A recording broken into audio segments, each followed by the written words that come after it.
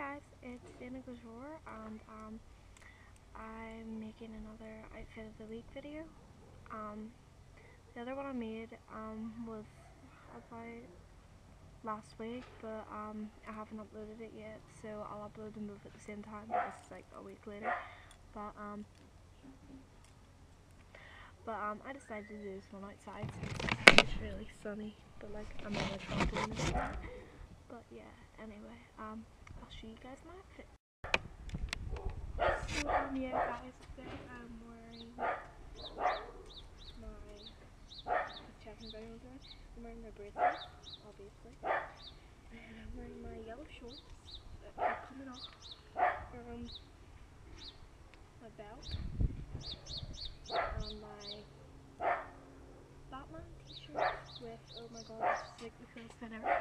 It's a troll face necklace.